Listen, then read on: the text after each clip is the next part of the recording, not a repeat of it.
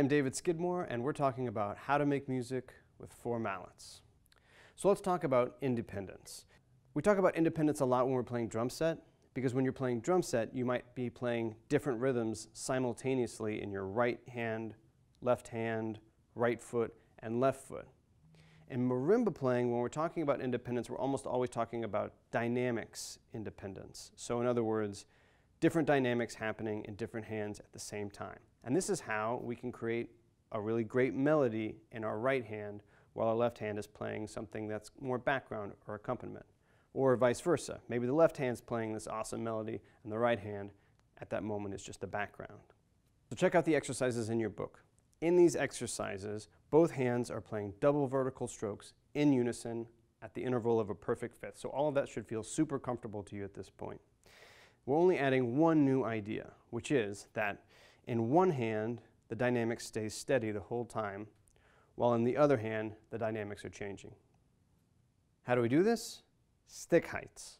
Remember we talked about in an earlier lesson that with almost all percussion instruments, stick heights equal dynamics. So if you want your dynamics to stay the same in one hand and you want your dynamics to simultaneously change in another hand, all you have to do is use the correct stick heights to make that happen. Once again, I'm going to set the metronome at the slowest tempo in my tempo range, quarter equals 80. And let's give this a try.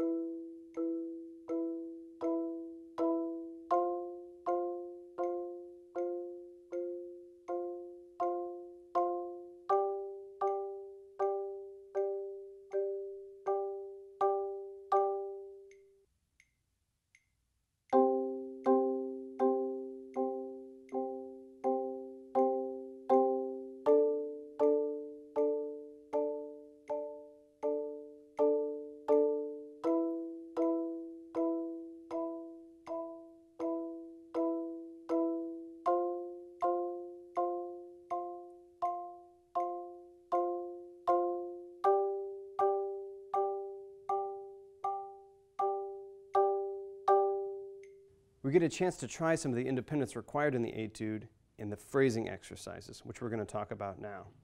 The phrasing exercise in this lesson takes three measures out of the etude, which have a particularly repetitive left hand. The number one mallet, which is your outside mallet in your left hand, just plays the same pitch this whole time. And in fact, two measures of this exercise are just that repetitive note played over and over again.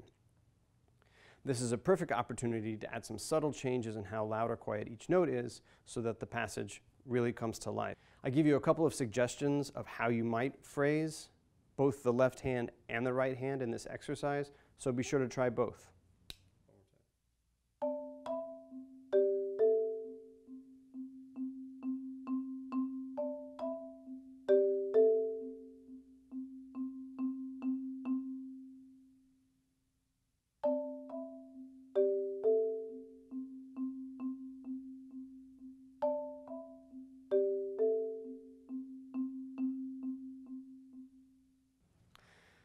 Now I'm going to play the whole etude for you, and I want you to really listen for all of the different moments that I find to create phrases by subtly changing how loud or quiet each note is.